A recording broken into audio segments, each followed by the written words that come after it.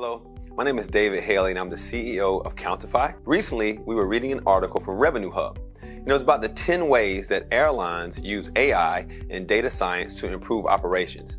We found it very interesting because it's right in line with what Countifi does for our airline clients. The first way we noticed was revenue management. I'm sure most people have looked for a flight on Monday and looked again on Wednesday and saw that the prices went up by 10 or 20%.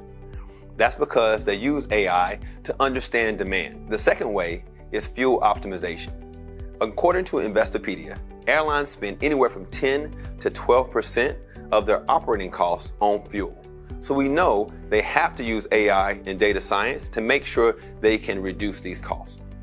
The third way is managing in flight sales and food. And this is exactly how Countifi helps our airline clients. We use computer vision and machine learning to help our clients take pictures of the inventory they want to count, and we count it automatically. Airlines usually throw a lot of sandwiches away at the end of the day. Companies that will be first to solve this problem can make a good commercial use case out of it.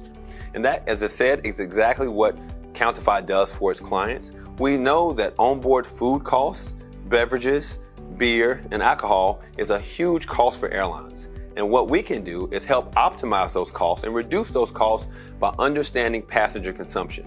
And what we found is not only does it reduce inventory, but it also can reduce the associated labor that it takes to put this inventory on the plane and remove it.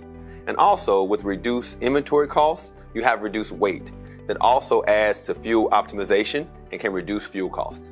So if you would like to learn more about how to optimize your inventory and asset management costs, please go to countifi.com.